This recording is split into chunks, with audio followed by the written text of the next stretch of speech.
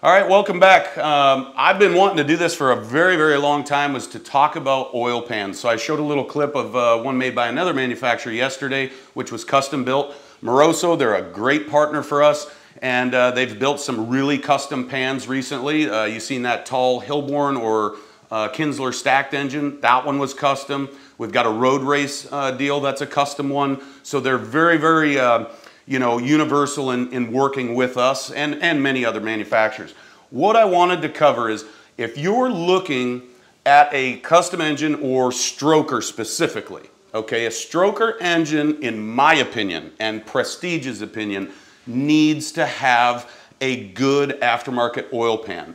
And that is for good oil control and so we can avoid windage problems. If you're not familiar with windage, that is when oil is returning back to the sump. When it's draining back, it gets caught in the crankshaft.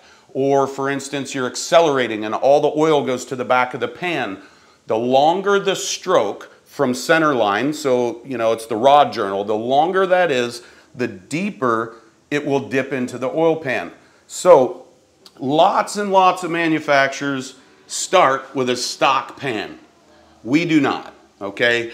The only pan or the only stock oil pan that we ever, ever use is a recent, uh, well, we haven't even released it yet, called our Cruiser Series.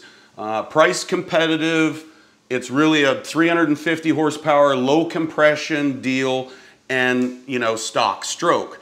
With a stock stroke, we will use the cheaper oil pan. That is the only application I recommend that. So if you're buying a stroker engine and it's got this style pan, you might want to ask yourself, maybe you should upgrade it.